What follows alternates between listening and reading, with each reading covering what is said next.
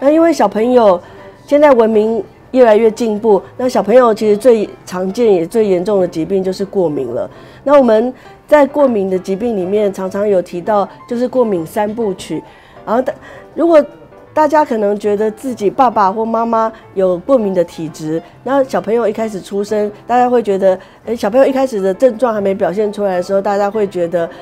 还没办法观察。然后，但是通常过敏的三部曲是随着年纪的增长慢慢的出现，也就是说，一开始会有异位性皮肤炎，接下来会有呃过敏性鼻炎，那如果再严重，然后之后就会在五到七岁的时候会发展成。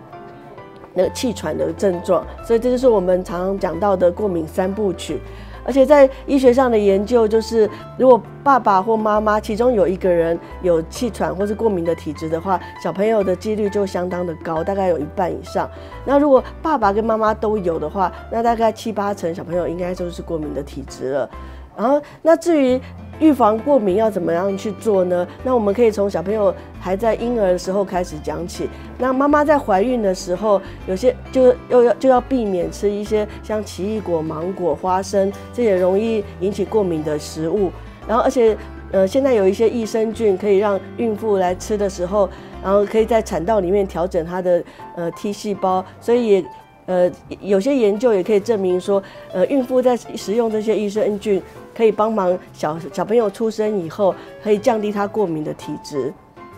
然后接着呢，小朋友出生了，要怎么样预防他过敏呢？再来就是，呃，大家一定会叫，呃，大家都会听到说，尽量鼓励要喂母奶，啊，因为喂母奶，母奶是人的奶，所以跟自己的小朋友的那个。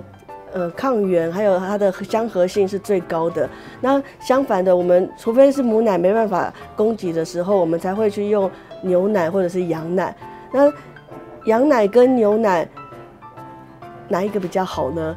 就是其实其实都没有比母奶好，因为它都是异种一个动物的一个奶粉，然后到而且中间还要经过一些加工、制造、高温消毒，所以它在保存，即使保持着无菌或是。呃，它的品质是好的，但是它的香合度还有它的营养性绝对比不上我们自己的母奶。然后另外一个很重要的原因就是使用母奶很重要的原因就是因为两妈妈跟小孩子的相合度可以降低小孩子过敏的几率。所以我们如果一出生